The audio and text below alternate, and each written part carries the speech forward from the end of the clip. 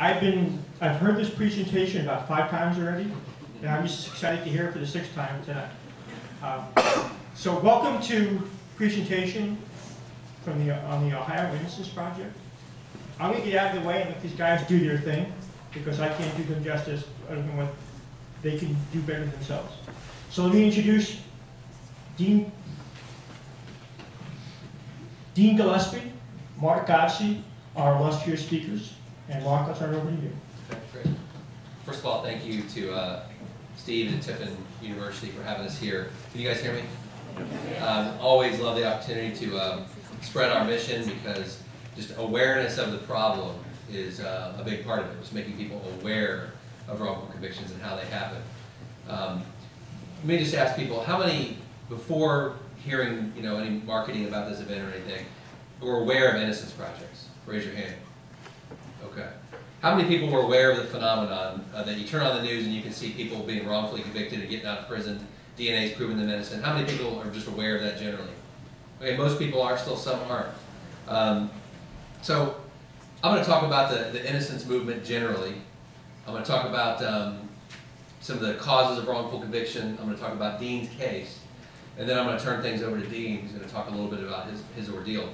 Dean here um, spent 20 years in prison for a crime he didn't commit and um, was released two years ago, a little bit over two years. So, um, and he'll be happy to answer any question you have. And so some of you who've been in classes with him earlier today know that.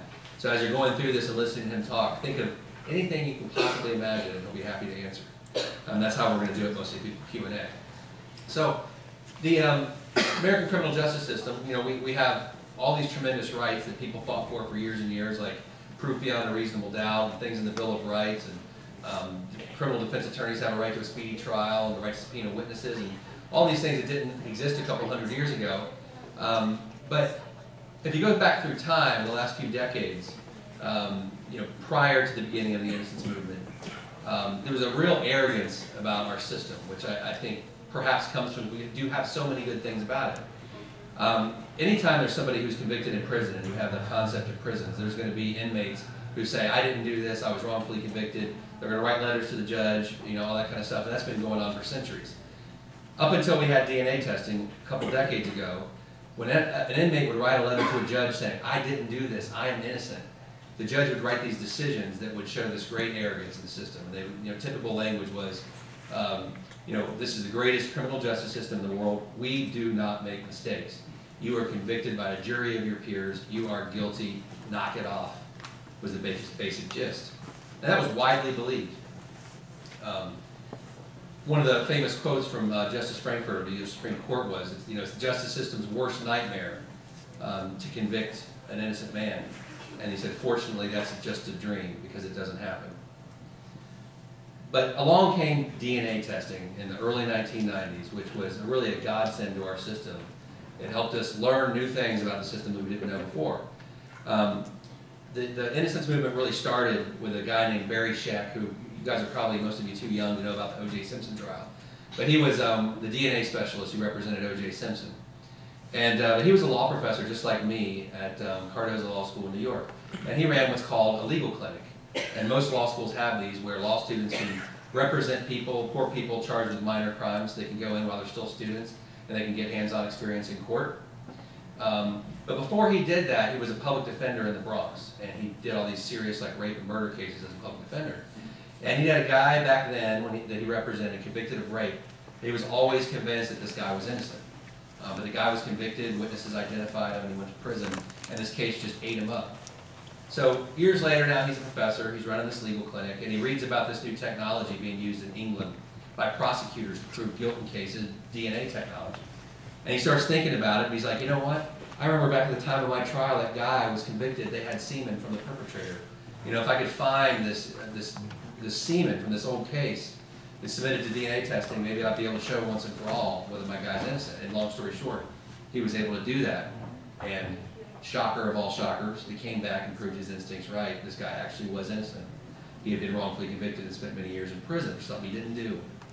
So I was actually a prosecutor in New York City at the time when all this was going on, and I can remember reading about this in the paper.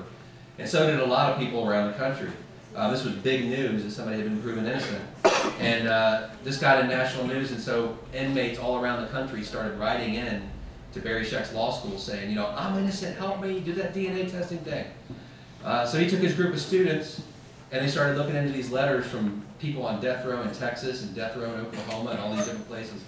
And uh, trying to find the DNA in these cases. And, and within just a few years, they had exonerated about 75 people around the United States. And uh, a great number of those original exonerees were on death row at the time they were exonerated. So this got more and more press, and I can remember uh, um, when I was in New York at the time, a New York Times cartoon sort of making fun of this, and it had these babies literally in diapers crawling down through these uh, old Shawshank Redemption prison halls carrying prisoners, holding their hands and getting them out of prison, sort of saying, this is law students, law students, that is shaking up the system like that. Um, which sort of blew people's minds. So as this got more and more attention, different states and law schools around the country started setting up innocence projects following that same model. Law professors supervising students, the students doing most of the work digging into these cases. And um, now they're pretty much in every state, but I think one or two, and now it's actually spreading around the world. And um, together, all these innocence projects, this innocence movement has now proven over 1,200 people innocent across the United States, and that number keeps growing every day. It'll be 1,300 within just a, a month or two. Um, and there's a, there's a website called the National Registry of Exonerations that's run by a joint project between the Stanford and Michigan law schools. And for every one of those cases, it's been vetted, and they've, they've determined that it meets the factors and the person's been exonerated. It has all the documents of the case, you can learn all about it. So um, in Ohio, we started ours in, in 2003, and actually I came from it as a prosecutor, and my first job was at another school where they, not UC, where they had a, a, a pre-existing innocence project in another state. And um, the professor who ran it was on sabbatical that year. Since I was the new crim professor, they were like, you know, we want you to run this, and I'm the new guy, I can't really say no. But coming at it from a prosecutor's mindset, I was actually very skeptical about it. And I remember sitting in the first meeting, and um, two of the students had just gone on a prison visit and met, met this guy in prison, one of the clients named Herman May. And they were just so emotionally moved by his story, and, and they just so deeply believed what he was saying. And I can remember sitting there just thinking, this is the biggest bunch of crap I have ever heard. Because I looked at the case, and several witnesses had identified him. Um, and it just to me, it's like these bleeding heart students, they have no idea what the real world's about. You know, buying this line of baloney from this, from this inmate. And uh, what happened is they ended up doing DNA testing and came back and proved him innocent. And so that was a real eye-opening experience for me. And then, as I had to run the program that year, I met other people that had been exonerated, and I started thinking, oh my God, this is not only something I'm starting to believe in, but becoming passionate about. So I ended up founding the one in Ohio at UC Law School. I got a job there the next year. Um, so far, we've had um, 17 people that we've gotten out of prison, all Ohioans, on basis of innocence, and together they've uh, served almost 300 years in prison for crimes they didn't commit. Um, Dean served 20 years. We have a guy, Raymond Towler, who served 29 years in prison. So more of his life was in prison um, than it was on the outside even today. He's been out for several years. So um, one thing that people always ask is, what do you think is the percentage of people in prison who are actually innocent? And um, I actually, I can't give you that number, I have no idea. Um, but Justice Scalia of the U.S. Supreme Court um, gave a speech a few years ago, and he, I think at that time, the National Registry of Exonerations had 900 or 1,000 people on it or something like that. And he said, well, you know, tens of thousands, hundreds of thousands of people during this 20-year period of the innocence movement have been convicted of serious crimes, and there's only been 900 or 1,000 of them proven innocent. So that's about 0.0001%, right? So that's a very small, that's a drop in the bucket. That means we get it right the vast majority, 99.999% of the time, or something like that. Um, and I, I, I can't tell you what the percentage of wrongful convictions are, but I can tell you that that's just the tip of the iceberg. Um, how do we know that? Well, if you take all the inmates who have written to an Innocence Project saying, I'm innocent, please help me, tens of thousands of people through, through the time this, this has been in existence, um, the first thing students do when they get a letter like that is they pull up the basic facts of the case to determine what happened, just in a generic sense. What's the storyline? Um, and the vast majority of cases, something like 95% of them, there's nothing DNA can do to prove the person innocent or guilty. Like if somebody shot me through that window, somebody walked to that door and shot me and took off running and got in a getaway car, there's no DNA here, right? There's nothing we can do. So the students just look at the basic facts and they go, well, this is a non-DNA case, nothing we can really do. So most of the cases, about ninety-five percent of them, this is all the people claiming innocence, writing to innocence projects, about ninety-five percent of them get cut, you're down to a sliver. Of the people that should have DNA in their cases, because of the way the crime occurred, the next step becomes the students start searching, making phone calls, going to police departments, seeing if they can find the DNA from this 20, 30-year-old case, right? And, um, you know, in some instances, they tracked down the retired court reporter from the trial, who still has all the files from her cases in her basement. I mean, there's just chaos, there's just no set way of preserving this old evidence. We had one case, we opened up the box of evidence and it was full of dead bats uh, that had been kept in the police property room. Uh, but about seventy-five percent of the time, the evidence can't be found. It's been lost or destroyed, um, the police threw it in the trash after the case was all over with. And that's actually what happened in Dean's case. So, if these are the people claiming innocence right in the innocence projects, about ninety-five percent of them don't have DNA in their case when you screen them. So you're down to a sliver. Of this sliver, about seventy-five percent of the time you can't find the DNA. So you're talking about a tiny little sliver that are lucky enough to be able to go to DNA testing in their cases. All right, and all the exonerations out of the innocence um, movement have come out of that little sliver of just people who are lucky enough to have DNA. Okay? Now, of the people who are lucky enough to have DNA in their cases, about half of the time, the DNA testing comes back and confirms guilt. And in our project, and I think any project, that's the best possible result you can get. And we tell our students, confirming guilt means that the bad guy has been on the street committing more crimes. The victim didn't make a mistake. The system worked, and that's what you want every single time.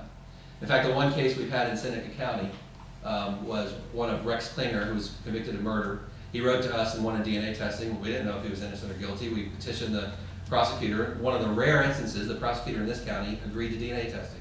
Usually we have to fight for years just to get the DNA testing. And it, we got the testing, the judge agreed, and it came back uh, incriminating.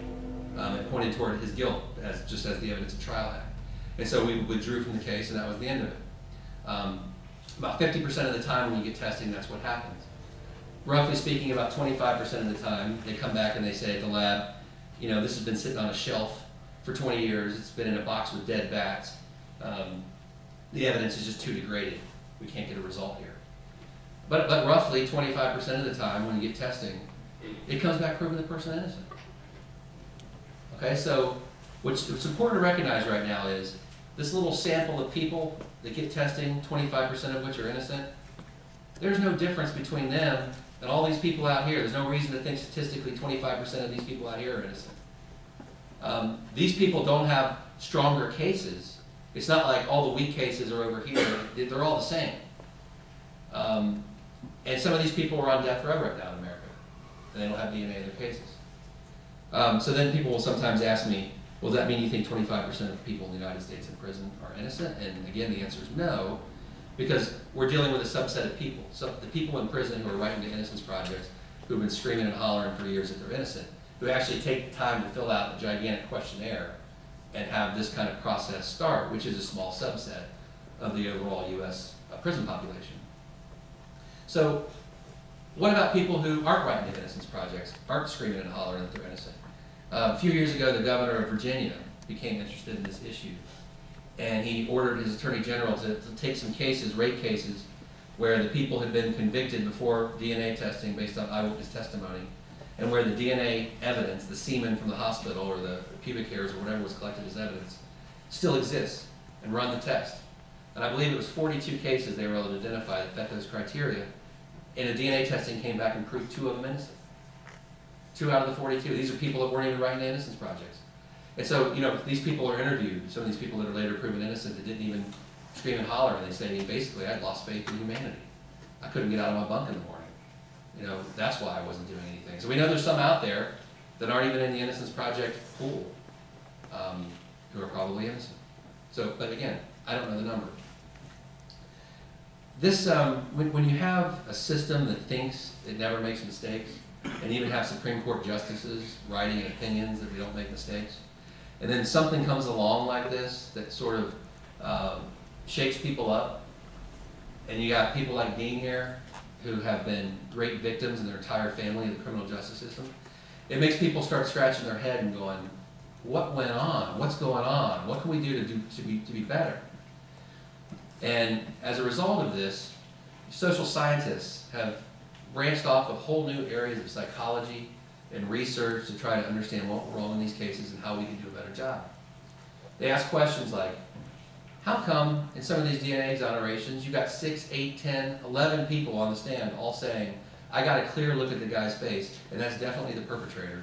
And DNA testing comes back and proves all these people wrong. How in the world can that happen? How can you have a fingerprint expert that took the stand and said, I compared the fingerprint from the bloody knife that the perpetrator held, and I compared it to the fingerprint um, of the defendant when he was arrested, and this is a match. And now we know that it's not a match. How can this happen?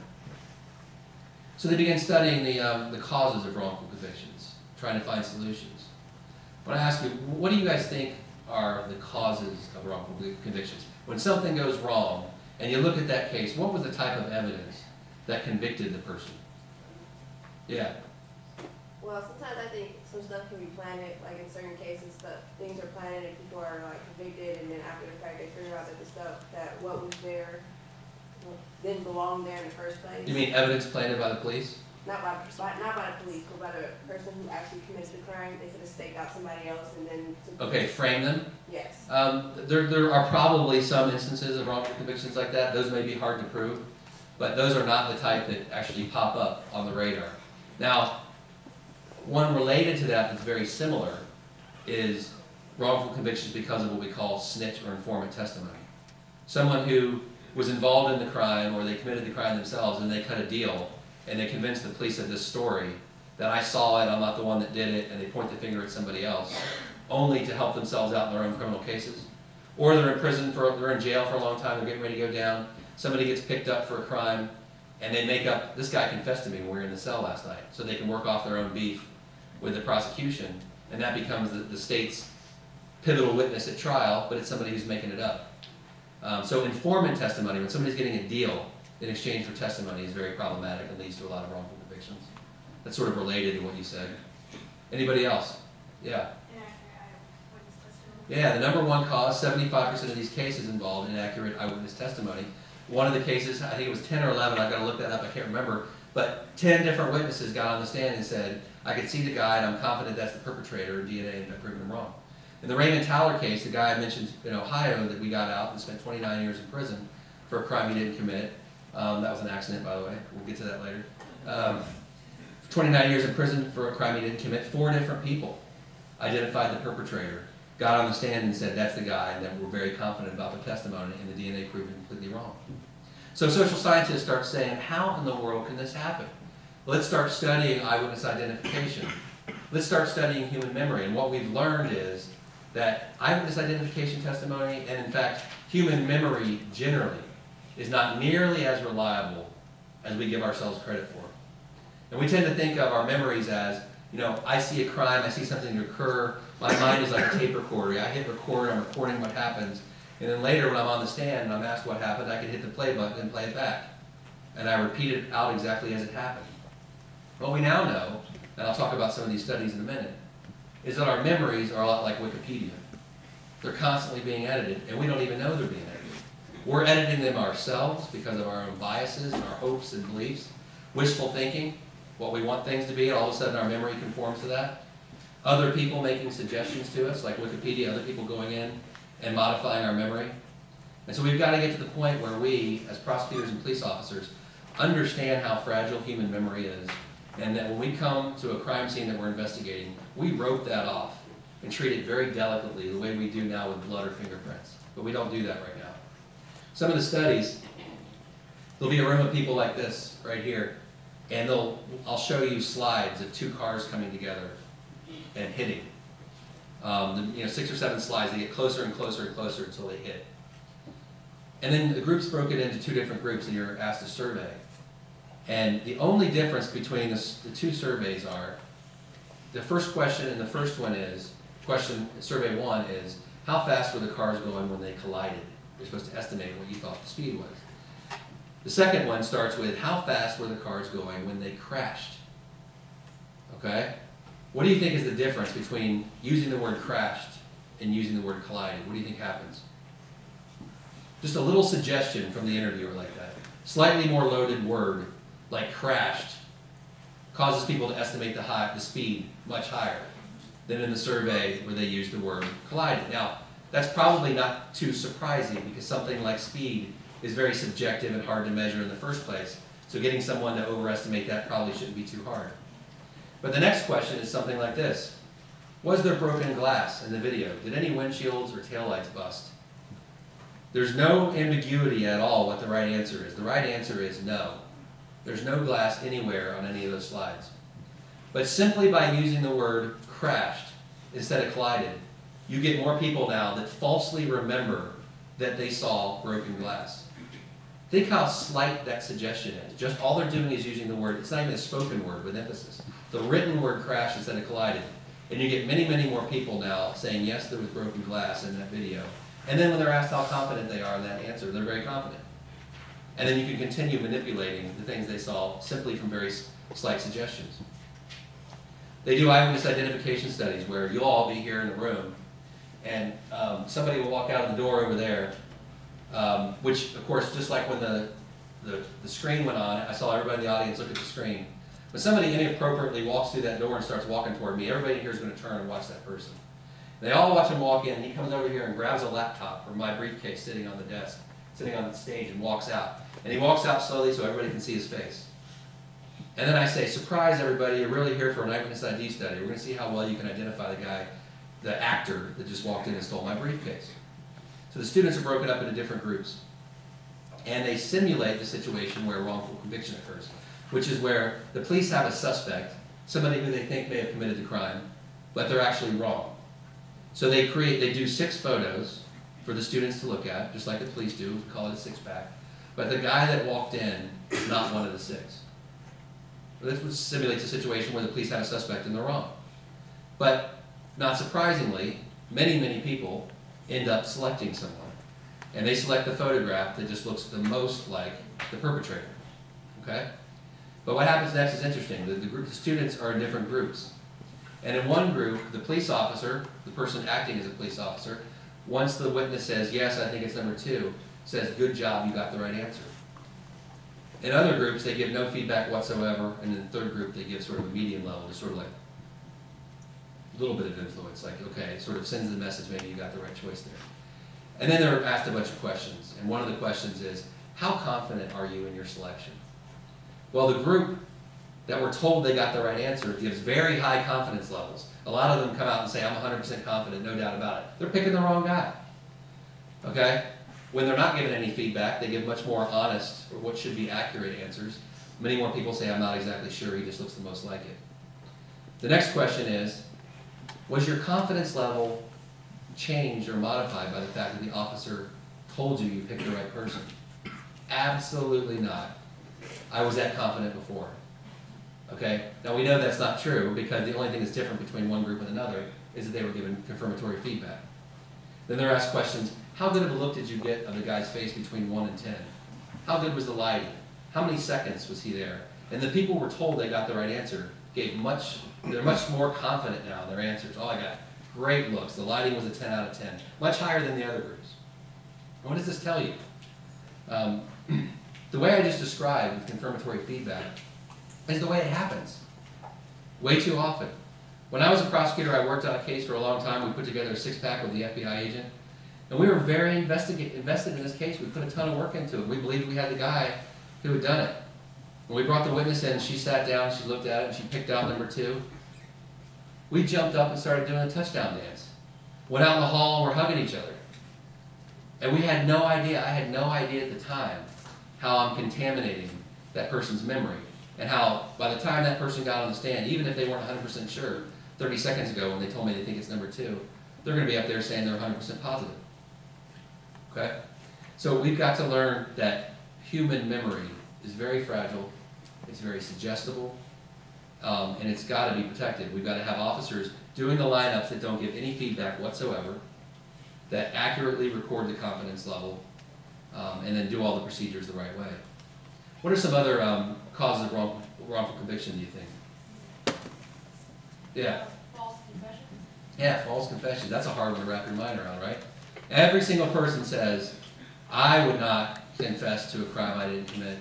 If I was being interrogated for murder, there's no way in a million years you would get me to confess to something I didn't commit. Absolutely not. Here's an example of somebody who didn't. I mean, they pressured him to try to admit things that, that he didn't do, and they gave him, you know, incredible plea deals if you'll just say you did it. Well, after he was in prison for many years, the parole board was gonna let him out if he just admitted he did it, and he continued to say, I didn't do it, I'm not gonna say I did it. But not everybody's that strong. Um, and again, human psychology kicks in. A lot of these individuals who were later proven innocent by DNA confessed. And so they, they do studies afterwards. How in the world did this person who's actually educated and intelligent get into a room and after only eight hours with police officers admit to something like a murder that they didn't commit? Um, and they, they realize that people have different personality traits um, that can cause this to happen. Some people become convinced that they must have blacked out they must have done it. The, the pol- police are so confident and pressuring them so hard and saying things like, um, they're allowed to lie to them. We've got your, they'll have a fake phone call from another officer, answer the phone in the interrogation room. Just got the DNA results back. And that was your DNA there. They're allowed to do that. Then the suspect being interviewed doesn't know it takes months to get a DNA result. Another phone call, fingerprints came back. The person actually becomes convinced, I must be losing my mind. And they end up um, confessing right out of confession what the police told them they did. Usually when that happens, after, after a couple days, they're back in their cell saying, this is crazy, I didn't do this. Other people become, they don't believe they did it, but they, they don't think the police can lie to them, so they think, oh my God, I'm gonna be convicted. Somebody's done something to me to put my DNA and stuff there, and they're telling me I'm gonna get the death penalty. My only logical option at this point is to say I did it. Um, there's many different reasons, and not everybody, you may be right that you would not do that under intense pressure. Dean survived that kind of pressure, but um, it's, a, it's amazing how many people I've personally met who've been exonerated, who ended up confessing to crimes they didn't commit. And when you meet them, you'd be very shocked. You would say, that's a pretty tough looking guy. And they ended up doing it. What are some other reasons? Yeah, circumstantial evidence. and what, what do you mean by that? Uh, It looks like uh, it might have happened, but it didn't really. Yeah, I mean, jump to conclusions, circumstantial evidence, weak evidence. But you know what's amazing though, is that a lot of these um, wrongful conviction cases, it's not like this was one the community was worried about. When the crime happened and this guy was convicted, he was the devil. Everybody was absolutely sure. If you wrote on Facebook, I don't think this guy did it, you'd be considered a nut. Right? Everybody's convinced. Every time there's a conviction, the evidence is overwhelming. Right? That's what the community believes. We all want to believe that. That's how the media portrays it, everything else. Um, and in many cases it is, but sometimes the cases were actually somewhat weak. But when I look at a case, somebody asked me to, to fight for DNA testing for them, I might look at it and go, well, there's pretty overwhelming evidence. My guess is 95, 99% chance this guy's guilty. Because I could be wrong and it could be the 1%, I'll still fight for the DNA testing just to make sure. Um, but many of these DNA exonerations occurred when, you know, it looked like it was overwhelming. So, um, any other ideas? The, um, another major, major cause of wrongful conviction is, uh, this myth that we have about CSI, about forensics. That we've gotten to the point where we have, you know, NASA quality scientists that can put men on the moon, examining these fingerprints and other things and coming to these conclusions that are just mind blowing and able to solve the crimes. I've watched CSI for about five minutes one day and it made my head want to explode. Um, literally, this they had a, the one scene I watched had a woman, uh, forensic scientist, looking through a, um, a microscope at the guy's tie, and she was able to identify something on the tie, and she kept looking up like she was pondering, and it would cut back and show how the guy's um, this, this evidence got on his tie in an incriminating way, like she's figuring that out from looking at tell through the microscope, and I'm thinking, my God, um, you know, a lot of these cases where people were proven innocent, an expert got on the stand in a white lab coat and said, I've analyzed the, the, the fingerprints and this is a match, or I've analyzed the, the tire tread and the, and the mud that led up to the dead body, and it's a perfect match to this guy's tires, including the amount of wear and tear, everything else. And we now know that's completely bogus. So how does that happen? Well, one guy in, in, uh, in Ireland named Dror, D-R-O-R, and he's been doing some amazing studies that other people have replicated, where he, um, he takes fingerprints And when an expert testifies in a trial, and he has the photos of the fingerprints that he testifies about the match in front of the jury, those are exhibits, those are public records. So you can go into the courthouse six months later and get copies of, of those exhibits, public records requests, things like that. And he takes them and he goes to the same expert who testified six months earlier that this was a match. Uh, but experts don't remember a fingerprint they looked at last week, right? All they do is look at fingerprints all day long. So he goes to him and he goes, We're doing a study in cases where fingerprint experts messed up, where they were later found to be innocent, but for some reason they wrongly testified that there was a fingerprint match. Will you help us figure out where this fingerprint expert went wrong? And they look at it not knowing this is one that they testified was a match six months before. In some of the studies, he can get up to 80% of the fingerprint experts to flip their results and see something that's a discrepancy, a difference that they did not see before. Now, one of the things people don't realize about fingerprints is that when somebody's arrested, their thumb is inked, and the officer goes like this and rolls a nice clean fingerprint. But the guy with the bloody hand who picks up the knife and leaves a fingerprint there doesn't grab the knife and go, mm, I'm gonna leave it, roll in a nice clean fingerprint on that. It's almost always some sort of smear, right? So there's an amount, certain amount of art and subjectivity going into the so-called matching of fingerprints. It's not just like a computer program can, can figure this out. Um, and so when they're given different information to start off, it can lead to a completely different result. And it's because human beings suffer from confirmation bias, right? If we're told at the beginning, which is what happens in most CSI areas in the country now, I'm a police officer, I'm bringing this file over to you, this is the guy that we think did it, there's overwhelming evidence, we just need you to make sure that there's a fingerprint match here to help our case out, you're much likely to end up saying, this is a fingerprint match, because you're gonna be looking only for the things that seem similar.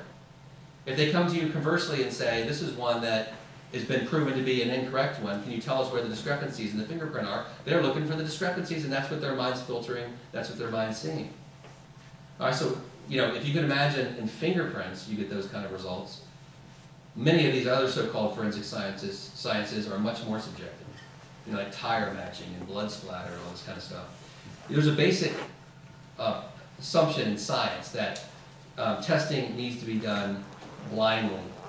Meaning the person who's doing the analysis shouldn't know what the right answer is before they start, what they're supposed to do. All right, that's just the scientific method. Um, we've got to set it up, and some of the reforms we have to make are that when information is taken to the CSI departments, they don't know what the right answer is. They don't know if this is the tire track they're supposed to exclude, because this is somebody they've eliminated, the police have eliminated, or if this is supposed to be a match.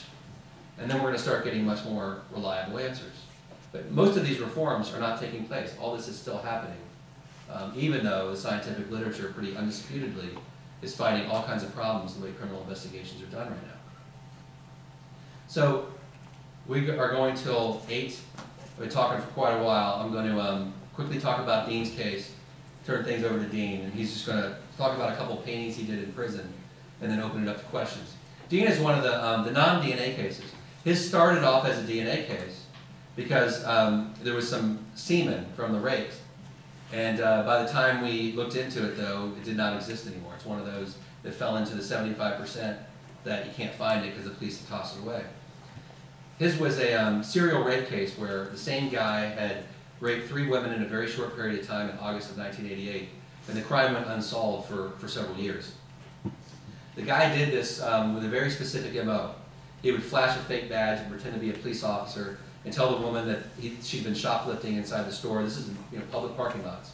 Get in the car with him, take her out to some wooded area, quite a drive away, and also the type of sex was very specific. He would force them to perform oral sex on him.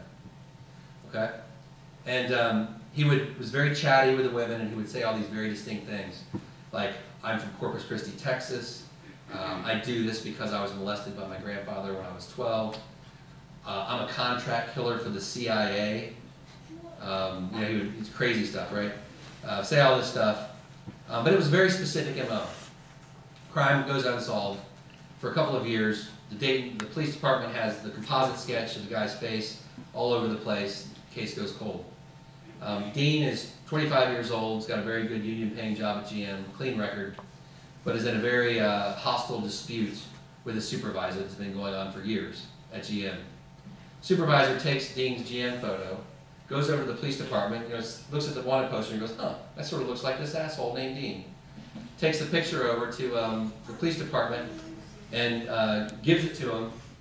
The detectives investigate and completely clear Dean because it was an absolute joke. Um, the, the description of the perpetrator did not match Dean at all. One of the things that all three of the women said is he had a very, very dark tan. This was August. Look at Dean. He's as Irish as they get.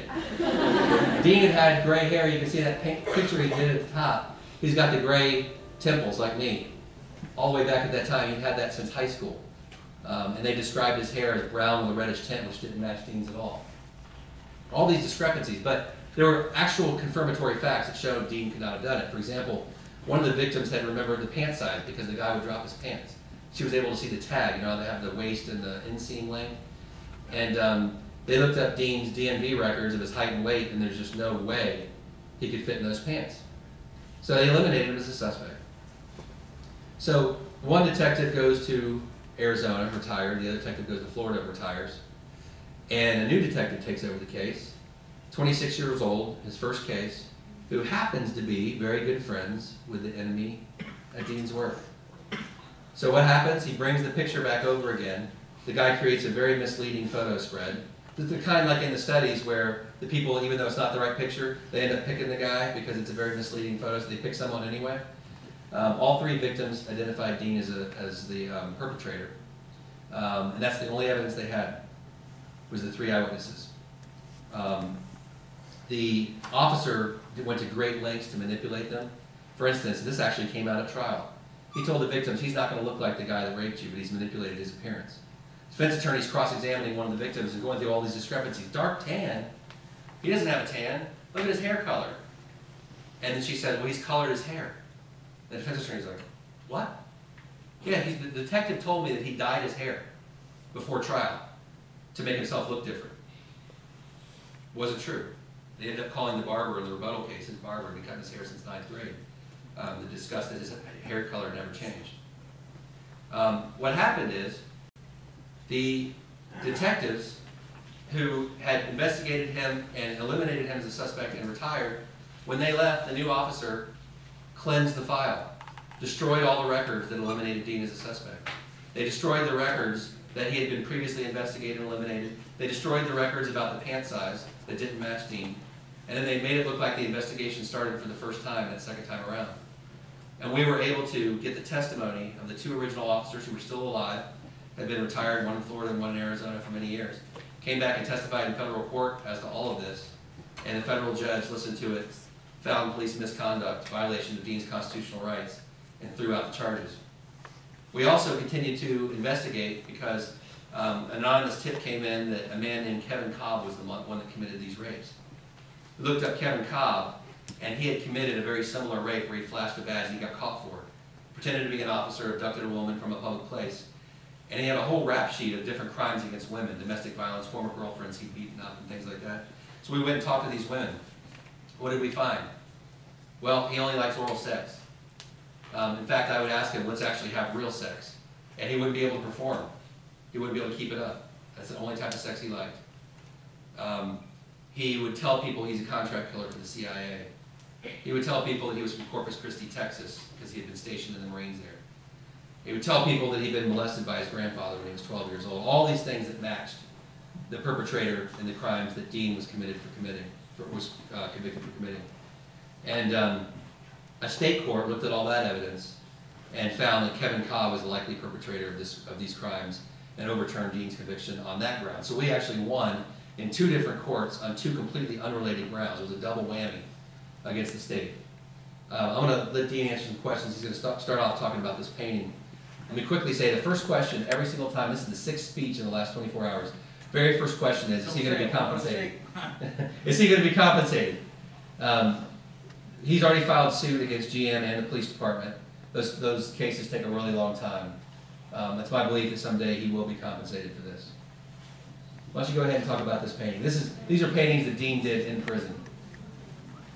This painting here was done for the, uh, in 2010, the University of Cincinnati hosted the National Innocence Conference that they have every year. Uh, Anyone who's been convicted and and released through the Innocence Project is welcome to attend these, the staff, the uh, students and everything.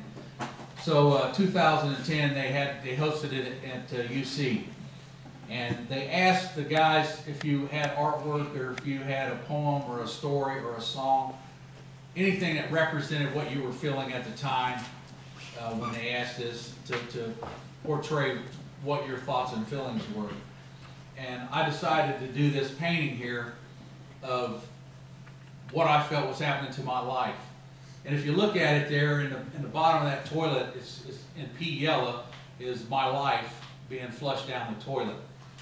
And you look at this thing and it's like, how can that filthy toilet, you know, have any meaning to it? But to me, everything that had any kind of meaning whatsoever in my life was in that toilet, and it was like a sacred pot to me. And you'll read around in the circle of the things that I lost while I was in there. Like the first thing start out with my home, you know, my business, um, you know, my material things with my four wheeler and stuff like that. Um, just running around with my friends, skiing, hunting, fishing, uh, and it keeps going around and around. And um, the the um, prosecutor will have his little things that he says, you know, motion denied, uh, appeal denied, 90 day extension. This stuff can't get in this toilet here um, because it has no meaning to me. It has no meaning. It has no relevancy to me. Up in the top corner was uh, uh, my portrayal of what I looked like. I used a picture about four months before I got locked up uh, to paint from that and um, what I feel like I looked like back then. On my face, I got this metal plate screwed to my face and no one's listening. And that's the way you feel. Is you're screaming and hollering and no one's listening. And they just want you to lay down and shut up. Over time, you can see the difference in the bottom down there. That was painted from my ID that you wear in prison. And over the mouthpiece there is the same thing. Still no one's listening. It, it is so hard to get someone to listen to you when you're innocent, to, to, to believe what you're saying. Lucky for me, my mom was fighting like crazy to uh, get someone to listen, and she finally got Mark to listen and help out.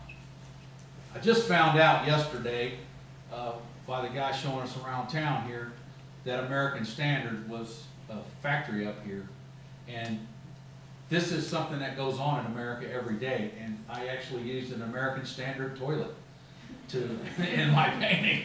So just for symbolism, and it turns out here I am in the town where they were made. But that was the reason uh, behind that painting.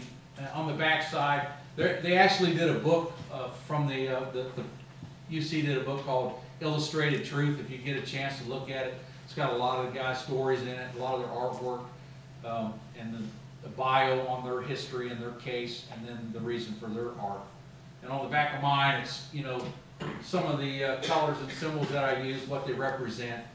Um, that was just my my interpretation of uh, my la- my life being wasted. I called it a stolen life. I was kidnapped by the state of Ohio, February 12, 1991, and um, that's just my representation of what that meant to me. This painting here I did of as we progress along in my case, Jim Petro, the ex-attorney general of Ohio, at the time was the attorney general and worked with Mark on a case, uh, Clarence Elkins case. You might have heard of it with the cigarette butt. The guy who actually committed a crime was in the same prison, in the same cell block that he was. And he found a cigarette butt, sent it out, Mark and his group did a DNA test, come to prove that the guy that was in that block with him is the one who committed the murder. And um, Petro seen this and was like, what's going on here? The prosecutor in that county didn't want to believe and didn't want to let Clarence out. Um, and she just kept fighting and fighting. And Petro said, we got to do something here.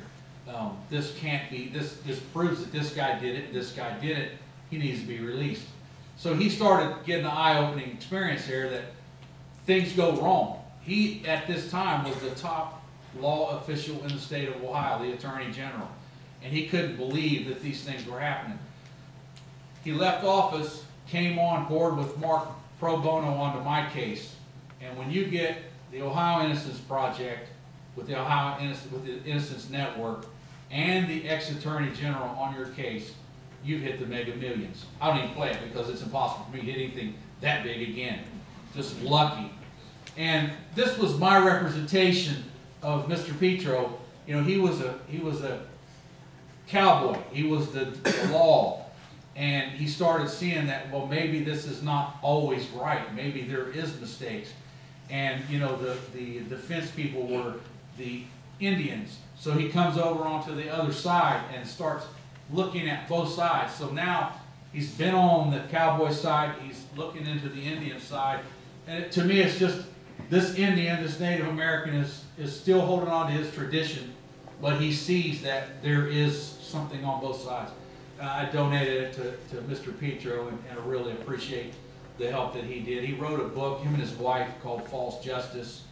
Uh, my case, the Clarence case I was talking about, and another guy. Extensive, uh, bio on Mark and the project at UC. It's a good read, uh, something to read. Um, it's got eight reasons why people are convicted falsely. Um, but that's, uh, we start out with these paintings. That's the reason I did those. You had a question? We're looking for questions. Yeah, let's go ahead and take questions. You can turn the lights back on. I'll, I'll answer questions. Question. Dean, be happy to answer any question you have. Anything, I will answer any question. Why don't you repeat the questions? I can do that. So what happened to the, um, the younger person who was over your case when they found out that you did, like, The, the guy, the cop who actually did this, uh, this was his first case. So the first case he had, he sent the guy to prison. He's still a cop. He's still doing this. You know, you get away with it the first time, how many more times has he done it? How many more people have been convicted wrongly? I have this great, beautiful girlfriend called Karma. And she has been running around visiting these people. Two days after I got out, his wife went to prison for stealing three hundred and forty thousand dollars from her work. So, you know, the detective that came with him that night was the deputy chief director of the police department. Six months ago, he was fired for inappropriate contact with a seventeen-year-old, which if anyone in this room done what he did, it would be child pornography, and they would go to prison. Uh, he got fired, and that was it. He still gets his pension. But, uh, she's coming around visiting him.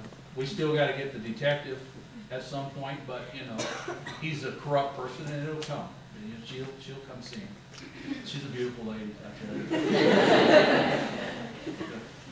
The, um, the state, uh, the Montgomery County Prosecutor's Office and the Police Department, from the very beginning when we filed this, um, just knee-jerk reaction. This did not happen. These detectives are lying. Uh, this Kevin Cobb guy didn't do this.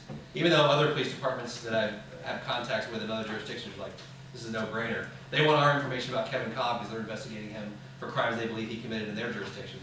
And they're wanting our help because we're the ones that investigate him most. Um, but they, they've dug in from very early on, committed themselves that, that Dean's guilty, they're not gonna listen to anything, and they're continuing to take that position. When you're taking that position, nothing happens to the police officer, because they've gone on record saying this never happened.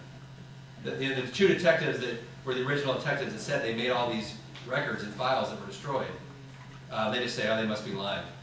So, We've It's not getting actually, we've actually took the, uh, the, uh, artist sketch from the night of the crime, they did an artist sketch. We took that artist sketch, we took Kevin Cobb from one of his arrests, split it right down the middle, laid it over, and it makes one perfect face. I can't believe we don't bring it around. Yeah, I need to start bringing that. It is unbelievable that it just lays on there, and that artist got it so dead on, it's just amazing. Yeah, normally composite sketches are not very good.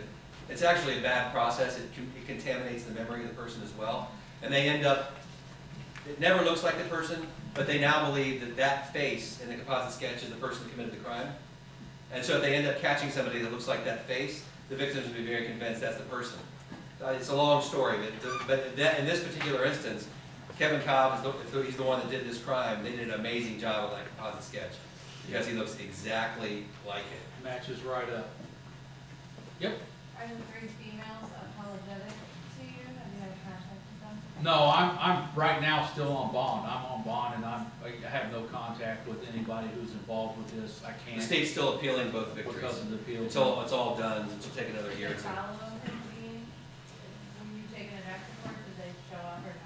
What do you mean? Were they involved in you getting him The, free? the, the three victims, which is often the case, and this is a whole other psychological study, um, they've had the police officer telling them this is the guy that did it to them for twenty years.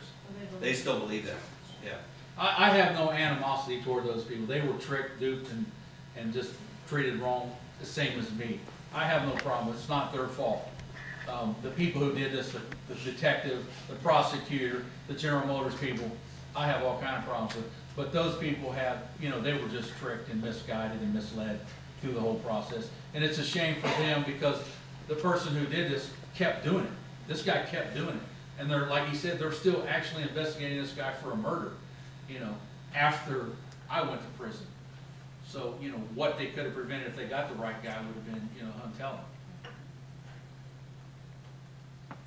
What do you want do for the rest of your life? Right here. After this is over? I do this right, I love doing this right here. Speaking and getting the truth, getting the word out that there's two sides to this. There's two, look at everything objectively. Look at both sides, form your own opinion. Don't form your opinion on what the whole crowd does. Be your own person. Look at both things. Uh, and I- fish. I've been, yeah, I've been involved in so many of these cases. I've had so many cases reported in the media that when I, when there's a big high-profile case, like the George Zimmerman case in Florida or whatever, I don't believe anything I read in the media. Unless you're personally involved, there, you, I cannot form an opinion. And it amazes me, my friends on Facebook will have these strong opinions based on something they saw on TV. It's like, you don't realize how the- the disconnect between what's in the media and what reality is. I guess you don't unless you've been in a field where you're in the media and you see for yourself the difference. Uh, but yeah, you cannot, you cannot just go along with the crowd and what the media is portraying. No, I, I always uh, say this sometimes is, if you look at what Hitler did with the media and how he controlled the people, it's the same thing in America. They can say whatever they want. People, you, I always said it, if, if they came on for three days straight and said Mickey Mouse was the one who bombed, the, that ran the planes into the Twin Towers, people will be burning Disneyland down because the media says it every day. And they just believe the crap that spews out of it. And it's, my mom always called it propaganda and mama media.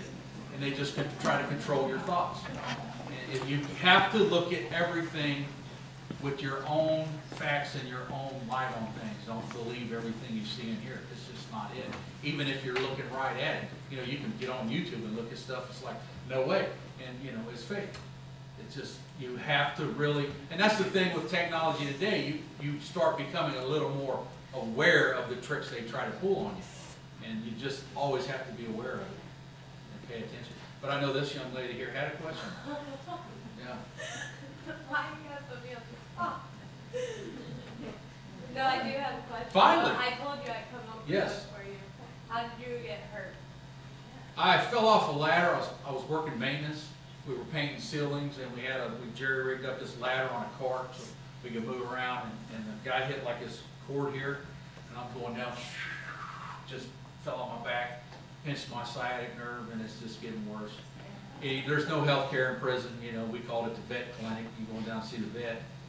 Um, they give you a Tylenol if you got your arm cut off.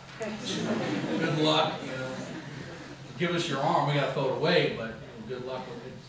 There's no health care in it. I actually watched a guy pull five of his own teeth because there's no, you know, they said it'll take three months to get you into the dentist. Uh, when you're pulling your own teeth, you know that there's big problems. Uh, You know, you watch the first couple and it's like, you're crazy, and then it's, are you gonna pull anymore? Cause I wanna see it. You know, it's entertainment. But the, the healthcare, and it's just, and, and the way I was let out of prison, if I was out on parole, for seven dollars, I could go see the doctor and, and have brain surgery. But because of the way I was let out, I have no options of nothing. And, you know, it kinda sucks right now. So come on with some questions, folks, let's hear them. I have one for you. You're talking about the need to reduce standards for like the DNA technicians to be unbiased and like the police and everything. Is there anything that's being worked on, like legislation? I can answer that. Senate Bill seventy-seven, this man got past him and Jim Petro. The preservation of evidence, the way they present evidence, the way they do the photo lineups, a great thing to read. Uh, Actually, I've been to a couple conferences and talked to some of the big staff and stuff. Each state is starting to use it as a model of the way they're gonna implement these laws in their states. Um, But he can speak a It, it doesn't go far enough. We got a, a law passed in Ohio that, um, requires the police to do photo lineups blind, which means that the officer who is investigating it has, I think it's number two, he can't be the one that takes it and shows it to the witness. It has to be somebody neutral who doesn't know. Now, the problem is, from what we can tell, many police departments aren't following it, and, and the courts in those jurisdictions are not enforcing it. Um, so that's one thing we need to fix. We need to try to get it more widely followed.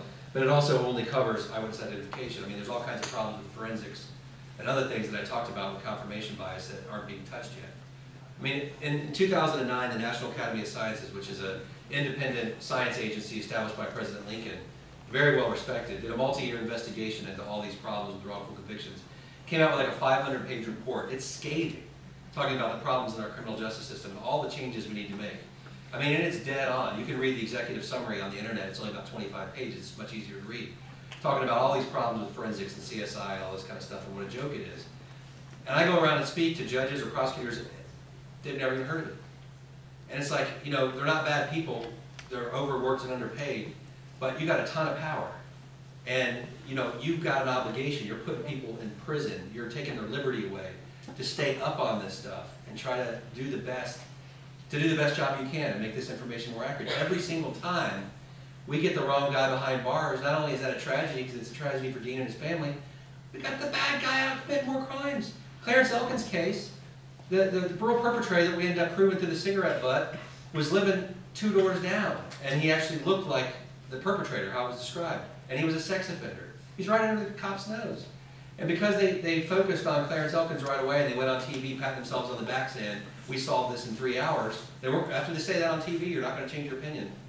Um, because they did that, um, Earl Mann, the true perpetrator, raped three little girls after that. All right, so their lives are messed up as a result of focusing on the wrong person.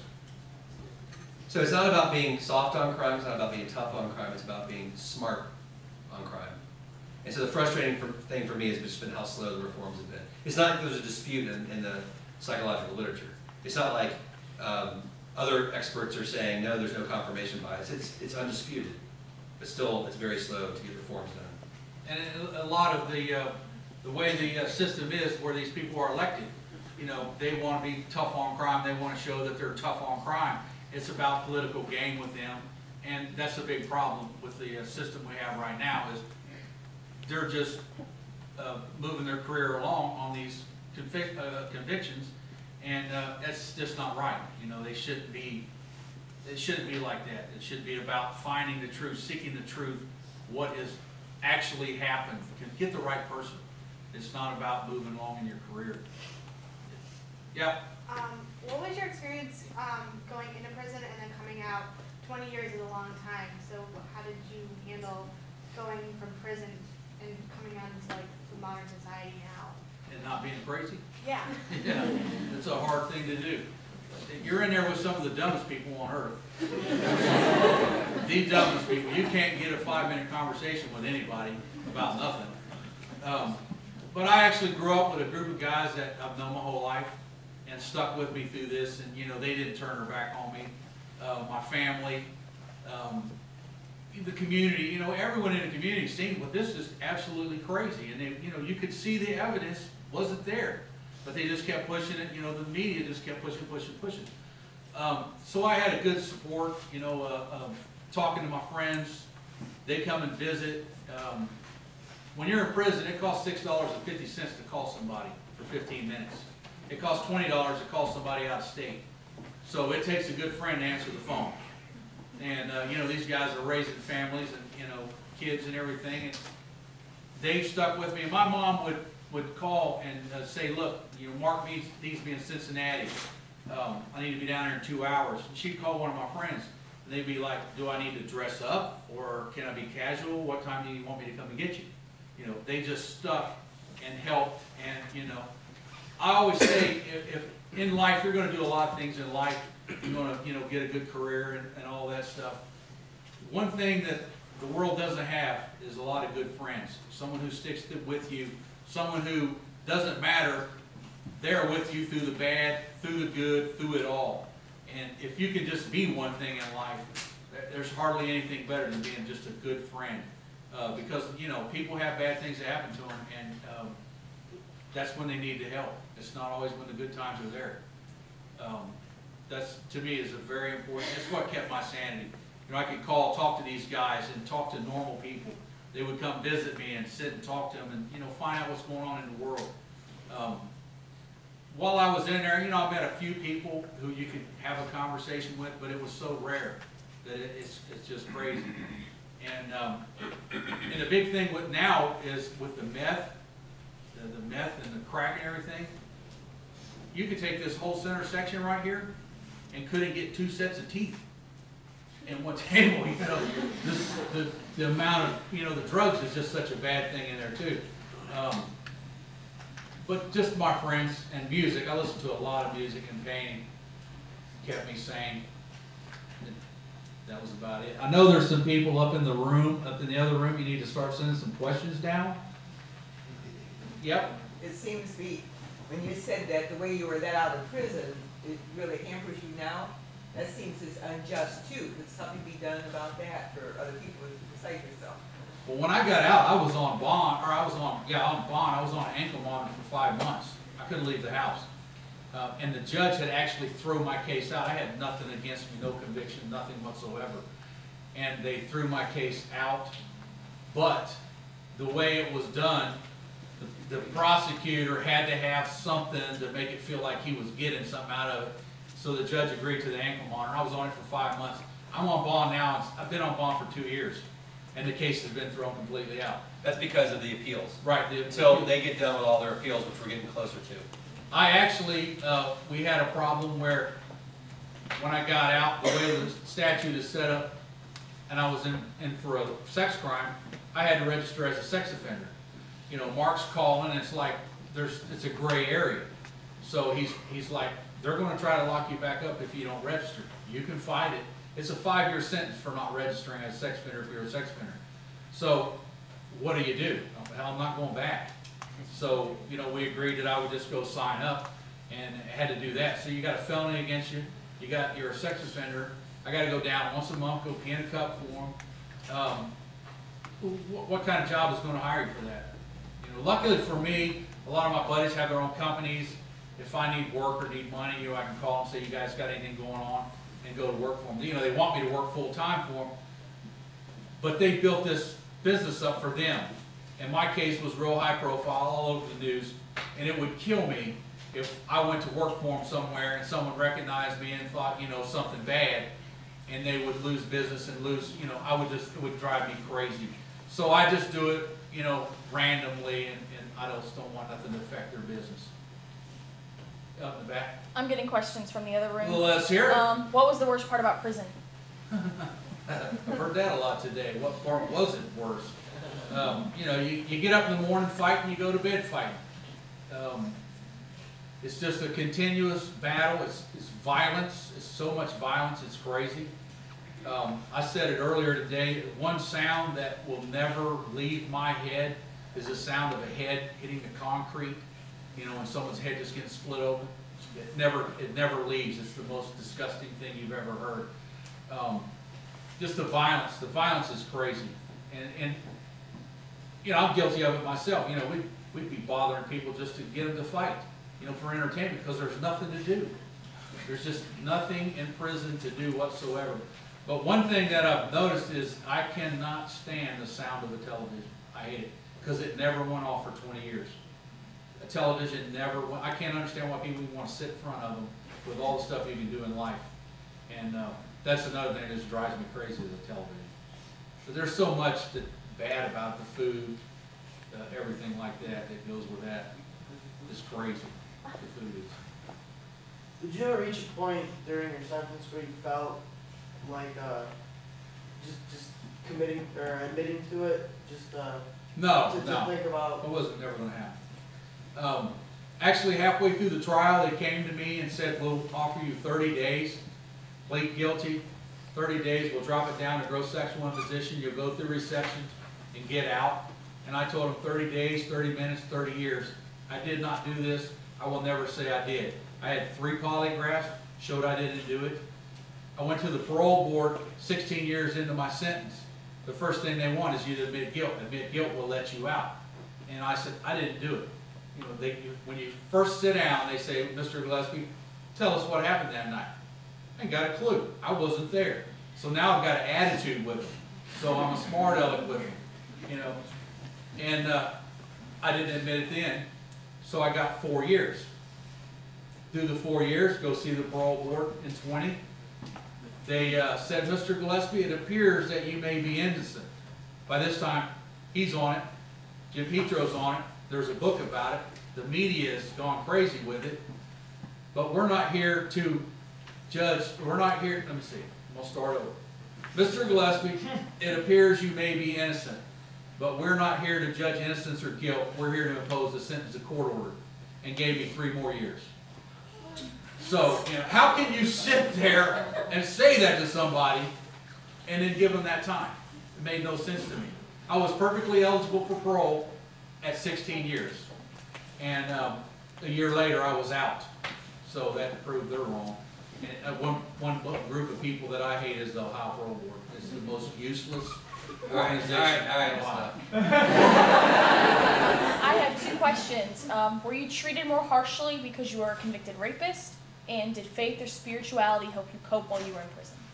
The worst thing you can be locked up in prison for is child molestation. The second worst thing is rape. Lucky for me, I was a pretty big guy and I was able to, you know, fend off a lot of that problem. Um, You develop a lot of respect in the prison too, just by the way you carry yourself. Yeah, yeah. And um, as far as religion goes, I was raised Baptist, and uh, I was in a church three days a week with my mom. Uh, she's very religious, and I felt God left me. She kept on. She's very religious still. She learned a lot of cuss words from Mark that she didn't know before. But, but yeah, it, uh, and a lot of times religion is used in there. A lot of the uh, the, the guys will use the church as a way to, I don't know what they're using it for, it's just, the way they used it just turned me off a lot, the way the church was. I did my own thing, my own, my own way with that, as far as religion goes.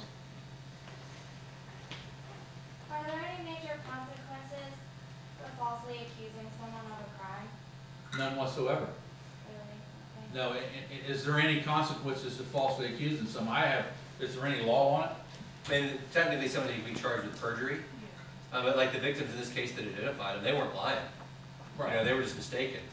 Um, the, the officer committed perjury, but the, the police department, the prosecutor's office has taken the position that he didn't say one thing wrong. So it's gotta be somebody to prosecute, that's why he's not being punished, that's why nothing's happening. Right. So most of the time, I did a, um, I did a, an article on the Huffington Post recently about how, um, in all these cases, when police misconduct is found by a court, so a judge has listened to the evidence and found the police officer did something wrong, they continue just practicing and get promotions. Nothing happens to them. Um, so you can Google my name and Huffington Post and that article will come up. Yep. Have you given up on faith in like the justice system completely? Yeah, I don't, I don't trust it one bit. I, I, I have a couple friends that are cops, and, um, I just, I don't trust cops, I don't, I mean, I trust my friends, but I just, um, you know, before I believed in the system, I flew the flag out front of my house every day. No way someone can go to prison for something they didn't do. Um, now. You believe that all the way through your trial, right? Well, You absolutely. didn't even take it seriously, this is a joke. Right, even when I, when they said guilty, I'm like, this can't be happening, there's no way this happens in America. And, uh, you know, it's happened a lot, it's become American standard, so it happens a lot. So I have no faith in it whatsoever. I have faith that I got the best lawyer in the world right here, and, uh, nothing to worry about. This guy's got seventeen people out of prison in ten years, seventeen people. And you got the guy who was talking about, Raymond Towler, 29 and a half years on death row. The most miserable place you can be on earth, death row in America, and being innocent. Is just how he's still saying, I don't understand. Come on with the questions. Let's hear him. Come on, folks. Yes, back here. Why didn't the guy at GM like you? Well, he sure didn't like me, that's for sure. Um, what had happened was my dad knew a lot of people, and uh, when I got out of high school, I went to an internship at General Motors, worked three months, did that program. A Couple months later, they called me to come back to work. Um, my dad knew a lot of people to get me the job. I got the job. I walked out of high school, 84. I'm working at General Motors, making $14.50 an hour in 1984. That was good money. Um, they had friends that they wanted to get the job, so automatically there's animosity and anger with me. I was a pretty good smart aleck, you know, what are you gonna tell me? I've got a good job. These guys were as old as my dad, you know, trying to tell me how to do things the old way. I knew how to do things the new way, and they, it was just always conflict, always conflict. And it just kept boiling and boiling and boiling. And the guy who actually took my stuff down used to work at that police department also, so he knew all those people. And had this, this guy's son, his best friend's son, was the one who took the case and did this to me. Yeah, the back, Um, in the 20 years of prison time, did you ever find a sympathetic prison employee? And what did you do your first day out of prison? well, um, a sympathetic, I hate COs. I have a real problem with the way they, and it's bad because, you know, not all of them are bad, most of them are, in my opinion. Um, just because of the way they act, the way they were trained to act. Um, I had one guy who, uh, treated me real well, done a lot of things, um, I can't talk about right now, but he done a lot of things for me that was really unbelievable, and he could have got fired for. Um, the first thing, the first three days I was out, I didn't go to sleep. I couldn't go to sleep. I was afraid to go to sleep. Like this can't be real. I don't want to wake up from it. Um, 600 people came through my parents' house in three days to visit, and it, that's unbelievable. That is absolutely phenomenal to have that many people. And that's all I did was just talk to people I hadn't seen in a long time. And you take 20 years of not seeing someone. I see my friends, I see my family, I see them age over time. I got off the bus and there's people standing in front of me that I've known my whole life and had no clue who they were. Um, that was a big thing and it still is uh, right now. Um, but when I got out, I got off that bus and kissed the ground right in front of my house and you can look at that on YouTube. Um, kissed the ground and just couldn't believe I was home. Yeah. Um, how did the Innocence Project come across your case, or how did you come across the Innocence Project? Actually, Mr. Godsey was teaching at the University of Kentucky, he was a professor down there. There was an article in the paper that there was, he was coming to Cincinnati and was gonna start an Innocence Project in Ohio, we didn't have one. My mom's friend seen it in the newspaper. The next day, she was in Kentucky with her friend, beating on his door to make him take the case. And she was a bit bigger and stronger than him and forced him to take it. So, you know, once the Innocence Project takes your case, it's like hitting the lottery again. It's just unbelievable because the, the national recognition they have from it, the amount of people they got out of prison, the work that they do is just phenomenal. And um, when they take your case, it's the greatest thing ever. And, and like I said earlier, lucky for me, the ex-attorney general also is on there. So it was a big deal. It was a, and once that happened, once he was on, the media was on it every time something was done. Him and his wife wrote the book. Things changed a lot in prison for me. People started thinking, well, there is some validity to this. There, you know, maybe this is, maybe he is innocent. A lot of difference with the staff and stuff like that. It definitely changed how my daily life was in prison after that fact. The girl you seeing at the time, like, of your conviction, or you guys were Uh, Um, did she like come back after you got out to see? you? Yeah, we, we, me and her have actually been knowing, it, going back and forth for twenty-nine years, uh, back and forth. We're still talk, we're still friends. You know, she would get married, get divorced, she would still visit, uh, still talk on the phone, you know, we're friends. Uh, Even to this day, she's a little crazy, but Mark will testify to that, but I think she's watching this, dude. yeah, well, that's all right. Uh, but she's still a good friend, you know, a real good friend. And she, she went through a lot too. This cop tortured her because actually his wife went to school with her. And he sent her over trying to convince her of crap. And it was like, are you kidding me? You know, illegal stuff, you know, what's his whole pattern is all the time, it's illegal. But yeah, we're still friends. What's the number one piece of advice you would give to anybody who's looking to go into like corrections or law enforcement or any kind of like legal field? The, the, the number one word I can use is objective, just be objective. Look at the facts. Look at what is in front of you, evaluate it for yourself. Don't do what everybody else is doing, don't just rubber stamp it because everyone says this is it. Um, look at both sides. If you're elected, selected to be a juror, this is one reason I like doing this, is because someone in here is possibly going to be on a jury. Someone's life's at stake. If they've went to a trial, know, this guy is really, I, if someone goes to a trial now, there's really something I'm gonna start paying attention because they start offering you such deals, most people take the deals. You know, you're taking a huge risk to take it to trial, obviously. And, um, that's when I'm gonna start paying attention, if they're going on with a trial. Because look at me, thirty days, I could've took the thirty days, I did twenty years in prison. You know, you think back, shoulda, shoulda, coulda, woulda, who knows? Um, just to be objective, just to look at things for yourself, make your own opinion, not what the crowd does. I want to add to that too, with uh, police and prosecutors. You know, I'm, I'm, most of my career was as a prosecutor, and I'm very pro law enforcement. I mean, as I said before, this is not about soft on crime, tough on crime, it's about being smart on crime. I want the bad guy off the street, I don't want them committing more crimes. Um, The, the- you know, again, so much of this is tied into psychology. And most of these wrongful convictions are not by police or prosecutors who are trying to do something wrong. Okay, but what happens is you get into an institution, you get into a system, and you become institutionalized. Even if you're very smart, prosecutors do, police officers. The people become sort of like monopoly money. You're doing it so often, you're going through routine, it's like an assembly line. Um, you sort of lose the humanity, the, the people you're arresting are just objects. Um, you no longer believe when anybody says something like, I'm innocent. You identify with your side, you become very unobjective. So if anybody makes accusations against a police officer you work with or something, this is what human beings do. It's not because they're bad people. Um, they become very insular. They no longer um, look fairly at situations. Um, I don't really know how to describe it in, in another way, but it's very hard to resist that when you're a prosecutor. Um, I mean, I have instances where I look back on, on my behavior when I was a prosecutor, uh, where things came to my attention that weren't right, and the way I looked at it at that time, I go back and look at it now, and I think, you know what, I was just going along with the system because I, I was part of a system, and that's what you're trained to do.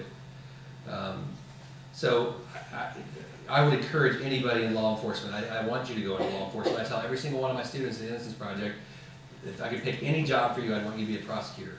Because, but I want you to do it fairly, and I want you to struggle hard against the system to try to make sure you individualize every single case, and you don't become institutionalized, you don't make it an assembly line. And you have the courage to stand up and say, this is a case where we gotta make an exception. Um, that's not encouraged in prosecutors' offices. Um, you don't get promotions if you, if you're, if you're soft, perceived as soft on crime. But you gotta have the courage to do that. Yeah, and, and actually, the problem is you see some of the same people over and over and over and over in the system. You keep seeing them over and over, and that's what calluses these people to make these judgments of everyone's the same, and that's not the case. You know, you do have the, you know, habitual criminals. Actually, when I was in there, one guy got out. He was out short enough, the bed he left, when he came back, was in the same bed, in the same week. You know, guys like that, you know, you got a problem with. But you gotta look at each thing individually every time, and that's important. Yeah, Did you ever encounter any other inmates who felt might have been falsely absolutely. I have a couple friends that, that are, Mark actually has a couple of cases. Um, one of the guys is uh, Jerry McMeans, he's seventy-eight years old. They've done everything in the world to try to help this guy, and he's likely gonna die in prison because no one's gonna listen, none of the judges wanna hear it, you can't get back in with the evidence they have now. Um, his stepdaughter wanted to move out and live with her boyfriend, and he wasn't gonna allow it, so she accused him of rape. She'd done it thirteen times before in thirteen other foster homes, and this was the first guy who went to prison for it, just to get her away. And, you know, this guy's probably gonna die in prison for that, and that's a shame. But yeah, I have definitely met people who I really feel are innocent, and he would be top of the list. tell your BlackBerry story, this group will get a big kick out of that. Making fun of me, are you? Um, The, the big thing with, when I got out, you know, when I went to prison February nineteen ninety-one, a cell phone was the size of a suitcase. Um, no one had a computer in their house, you know, IBM and GM and stuff like that had the computers. So there's no World Wide Web, there was none of that stuff.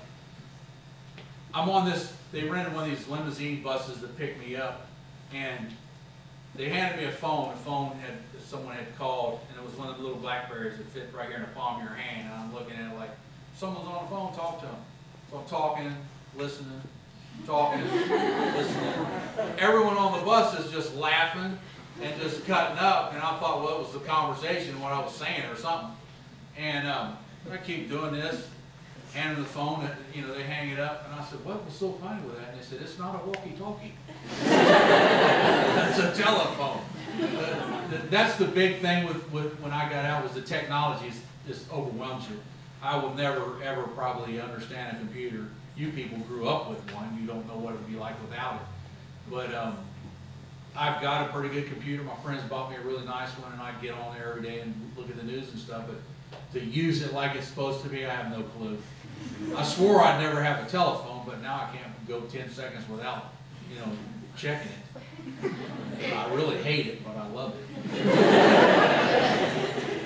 He just has to make sure he's texting the right girlfriend when he's responding. So he doesn't cross him up. Yeah, it's a good thing it's a smartphone, because the dummy using it.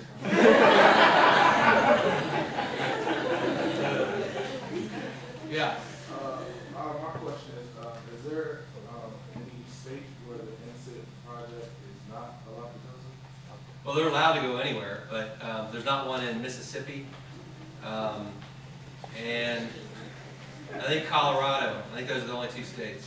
and the problem is funding. It is, it, it costs so much money to operate one of these programs, it's crazy. You know, the cost of the legal work, the cost of the DNA analysis, the, the funding is crazy. This guy volunteers to do this. He is an actual professor at the school, volunteers, runs this program. He's a part of the, the board for the national project. Um, but it, it takes someone who's very passionate and willing to spend the time on talking to angry, evil people every day, just banging your head against a wall to try to get someone to listen. It takes a special person to do that. You know, luckily, we got, you know, forty-six or forty-seven in America in each state. But it's, you know, a lot of them are one guy volunteering a couple hours a week with a few students, you know, and it's just, that's how it gets started. You have to start somewhere.